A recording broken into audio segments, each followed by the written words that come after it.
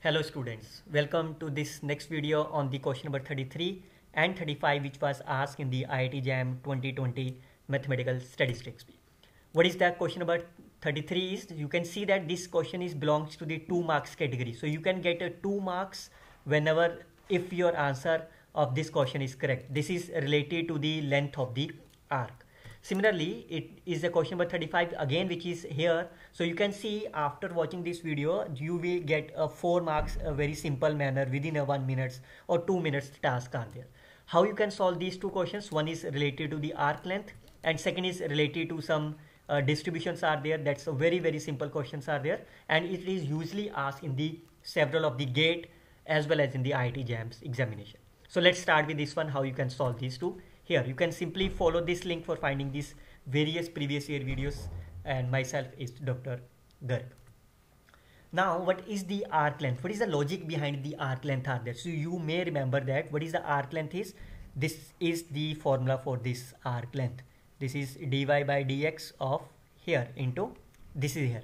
But you can see there here integration is with respect to x as well as with respect to y. So one formula is here with respect to x and second formula is there. You can write like of dx upon dy.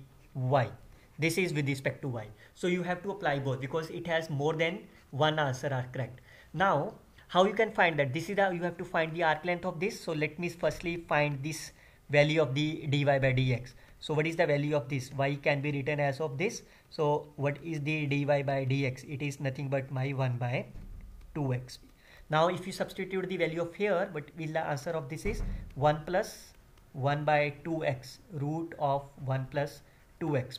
So is there any answer of this? You can see this is the right answer.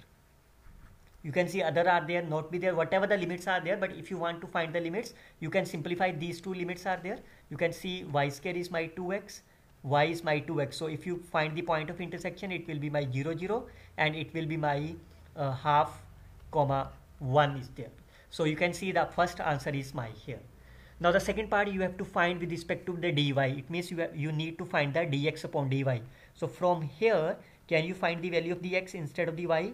It is my here. So what is the dx upon dy? It is nothing but y. So if you substitute the value here, what is that? This is nothing but my 1 plus y square of dy. What is the limit of dy is my 0 to 1. So you can see this is also the right answer. So this is the answer there. So you will get a two marks a very simple manner with the help of these remember things are there. So A and C are the correct option.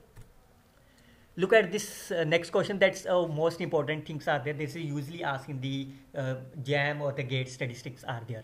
So what is that? You have to find the expected value, expected, expected and expect. It means your target is to find the mean of this probability distribution. So it means your target is to identify which one is the mean.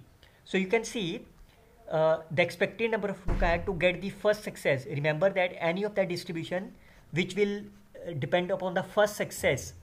Yes, this is on the geometric distribution. Whenever there is a first success, it's a geometric distribution. So the mean is always be the 1 by p. So what is the p is my 1 by 5. So the what is the 1 by p is 5. It means this is the correct option.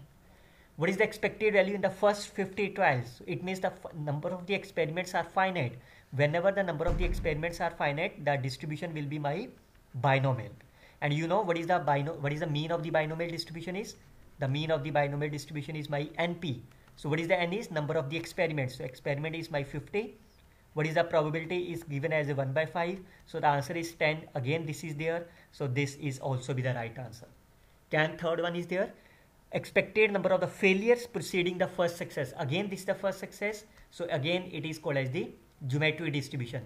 So what is the mean of the geometric distribution is 1 by p but here is 5. But now we are talking about the failure. So this is the value of the success because p 1 by 5 is the probability of the success. So the mean of the success is my 5 and the failure will be my 5 minus 1 because the previous one is my 4 is there. That's also true. Expected number of the trials required to get the second success. So do you remember that when there is a more, this is the first success, geometric. When it's a second success, it is called as negative binomial. So what is that? Negative binomial, what is the mean of the negative binomial is R by P. What is the R is?